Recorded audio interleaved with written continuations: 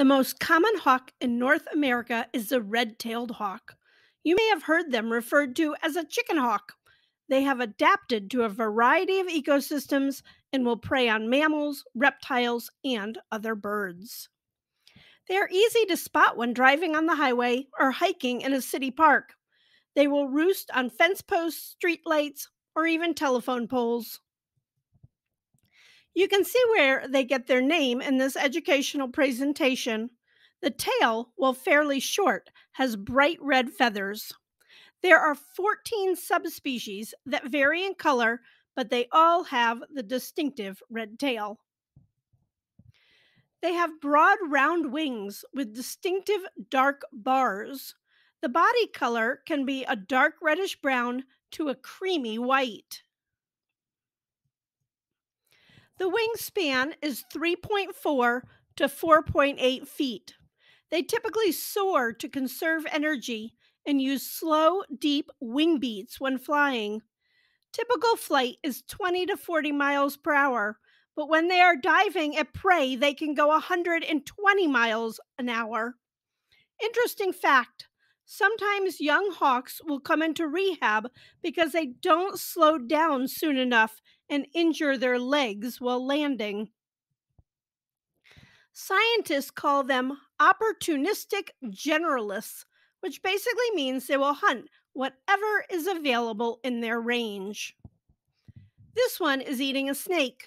Science studies show them eating 200 different species depending on their geographic location. That's almost as many species as the great horned owl, another opportunistic hunter. They do prefer rodents, especially those that scavenge in fields, such as mice, rabbits, and ground squirrels.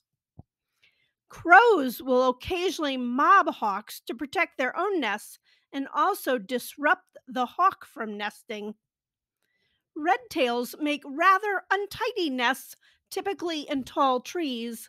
Females brood while the male supplies her with food. One to three eggs are laid between mid March and early April. Incubation lasts 28 to 35 days. Babies, called eyases, are altricial,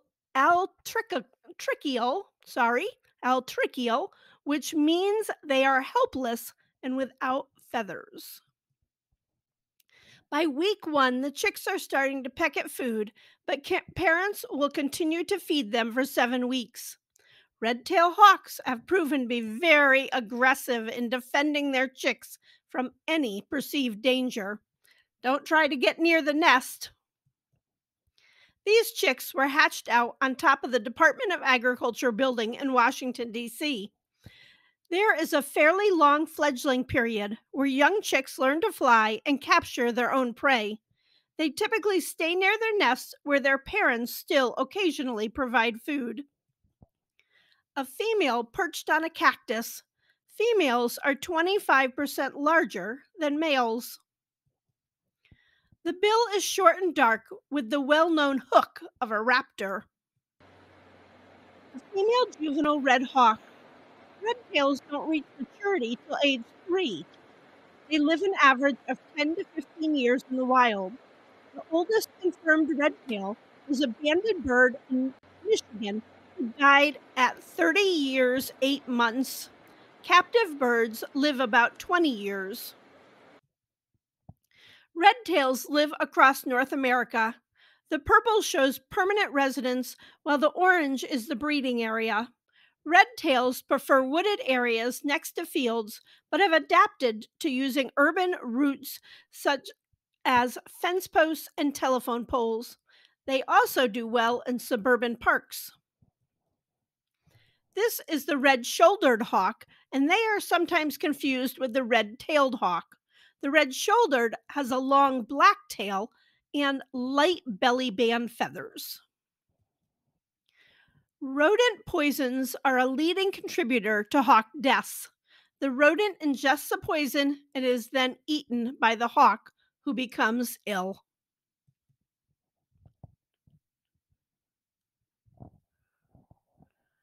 The scream of the red tailed hawk is a common sound to moviegoers.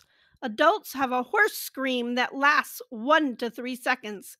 It's often used in movies to replace other birds of prey due to its chilly sound.